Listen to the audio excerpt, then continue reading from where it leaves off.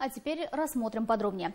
Глава государства принял участие в заседании Совета глав государств, членов Шанхайской организации сотрудничества, которое прошло в формате видеоконференции. По мнению главы государства, ШОС оказалась на высоте в плане координации усилий по преодолению негативных последствий пандемии. Касым Жумар Тукаев высоко оценил утверждение на сегодняшнем заседании комплексного плана совместных действий по противодействию угрозам эпидемии, а также отметил важность казахстанской инициативы о создании под эгидой ВОЗ сети региональных центров по контролю над заболеваниями и биобезопасности.